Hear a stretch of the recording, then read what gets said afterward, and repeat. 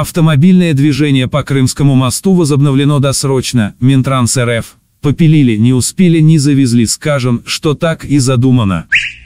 Продолжая активно поставлять Украине Байрактары, Эрдоган заявил, Россия – это не обычное государство, это мощное государство. Конечно, Запад во главе с США нападает на Россию почти без ограничений. Перед лицом всего этого Россия, конечно, оказывает сопротивление.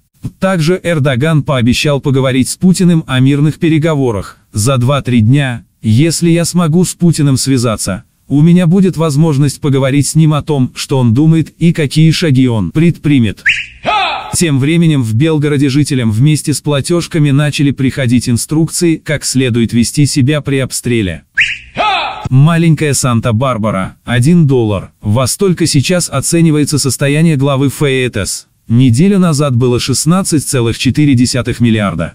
Основатели два сотрудника ФЭТС в настоящее время задержаны властями на Багамах. Генеральный директор дочерней компании ФЭТС Эламида находится в Гонконге и пытается добраться до Дубая, страны, у которой нет договора об экстрадиции с США. Общая сумма похищенного оценивается в 2 миллиарда долларов. ФЭТС потратила 74 миллиона долларов на недвижимость на Багамах в 2022 году. Так, Россия создала в мире ситуацию, которая спровоцировала рецессию в Великобритании, заявил глава Минфина королевства Джереми Хант, он же, цитата, «помощь в оплате счетов за электроэнергию» стоит столько же, сколько вся Национальная служба здравоохранения. Ложь от российского агентства новостей ТАСС. Мы нашли ту самую статью, в которой были опубликованы сегодняшние слова главы Минфина Великобритании Джереми Хант. В статье ни одного слова про войну, Украину или Россию. Кремль не стал добавлять новые аннексированные территории на официальную карту. На картах, опубликованных на официальных сайтах правительства и Совета Федерации, также нет новых регионов, а чего это так? Уважаемые собственники, с 12 по 13 ноября 2022 года будет проходить плановая проверка военным комиссариатом Кемеровской области по Ленинскому, Заводскому и Центральному районам города Кемерово на Предмет уклонения от частичной мобилизации. Просьба всех отнестись с пониманием, оставаться дома и открывать дверь сотрудникам военкомата. Кемерове заметили объявление о поиске уклонистов от мобилизации и просят отнестись с пониманием. Местный военкомат почему-то оказался не в курсе железных обещаний Путина и Шойгу, что частичная мобилизация ну точно-точно закончилась. Фильм «Мы» по роману Евгения Замятина убрали из графика релизов, экранизация антиутопии не выйдет 1 декабря этого года. Изначально релиз фильма «Мы» планировали осенью 2021 года, а затем начало проката перенесли на 1 декабря 2022 года. Теперь у экранизации вообще нет даты релиза. Попилили, распилили, запилили ЗБС.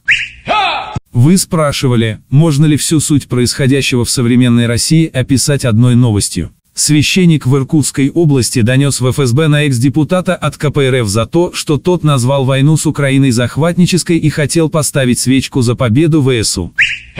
Четвертый день путинская пропаганда объясняет, что сдача Херсона – это очень хорошо для России, а вот Украине, наоборот, будет от этого плохо. Так надо сделать Украине еще хуже. Надо сдать ей также Донецк, Луганск, Мариуполь, Мелитополь и Крым. Пусть мучается.